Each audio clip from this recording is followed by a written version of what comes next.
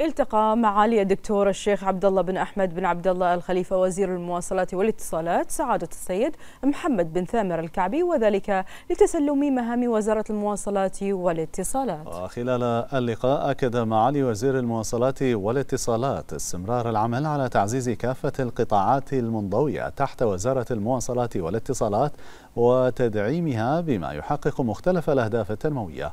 مشيدا بالجهود الطيبة التي بذلها سعادة السيد محمد بن ثامر الكعبي خلال توليه الوزارة بالفترة الماضية منوها بما تحقق من مشاريع متنوعة أسهمت في تقدم قطاع المواصلات والإتصالات.